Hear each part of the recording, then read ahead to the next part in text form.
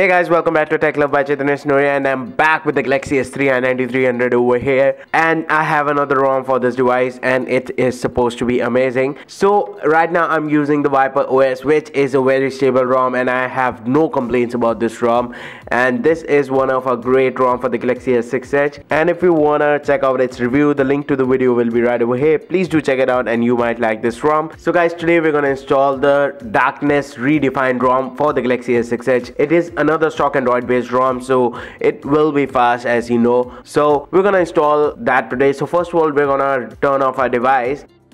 And for this your device need to be rooted and have a custom recovery. And it is a fairly easy thing to do and I've already made a video about it once again. And link to that video will be right over here.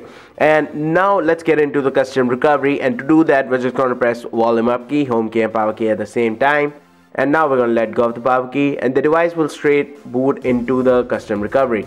So here we have the custom recovery and we're going to go in wipe and we're going to go into advanced wipe. And here we're going to select Dalvik cache cache system data and we're going to swipe to wipe.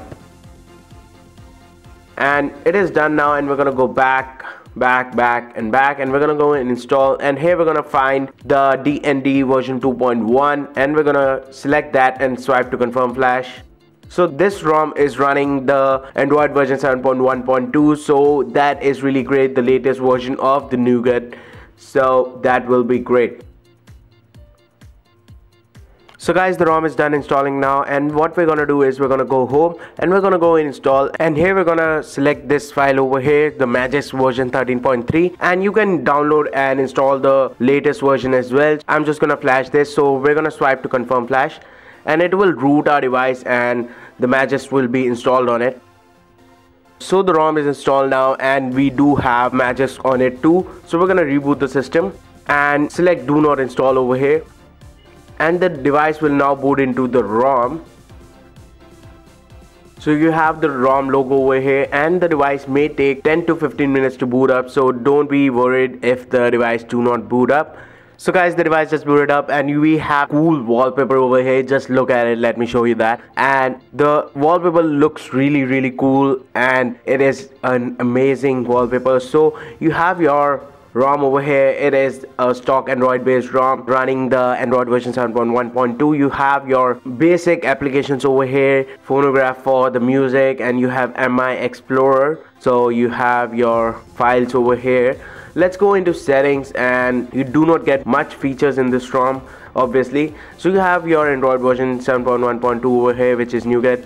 And let's just go back and you have the security patch of the September 2017 so it is a bit old right now. So here you have the Magisk manager which is right over here which is really really great. You can get a safety net check with the latest version so if you want to, to use the Snapchat you can do that with the latest version. You have your darkness arena over here customizing your device according to your needs so you have a lot of customizations over here. It goes on and on. And rest is all the basic stock android stuff over here so I think this ROM would be as great as the Viper OS that I was using. And it feels really really responsive and there's no lag anywhere. So I think ROMs like this are making old devices like the Galaxy S3 still usable. And you can use these devices with these ROMs as your daily driver. And you wouldn't face any difficulty in in day-to-day -day life. So I think that is really great and the review to this ROM will be coming really really soon. So I think that's it. If you like this video please give it a thumbs up. And for upcoming content subscribe to this channel. This is Chaitanya Sanoriya signing off